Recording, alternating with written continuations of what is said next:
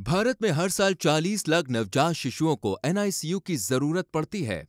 ज़्यादातर माँ बाप अपने बच्चे को इस दिक्कत को लेके बड़े शहरों की तरफ़ भागते हैं। लेकिन अब बच्चों में जन्म से निमोनिया, जन्म के समय ना रोना, जन्म से खसरा, जन्म से पीलिया, जन्म के बाद वैक्सीनेशन और समय से पहले जन्मे बच्चों को शीशे में रखना, यानी एनआईसीयू चाइल्ड एको, क्रिटिकल बच्चों के वेंटिलेटर की सुविधा। डॉक्टर शैंकी दुदेजा की देखरेख में, अब doctor Prem super speciality hospital Panipat में 24 घंटे उपलब्ध है। बच्चों से जुड़ी सभी गंभीर समस्याओं का समाधान, अब doctor Prem super speciality hospital में उचित दरों पर उपलब्ध है।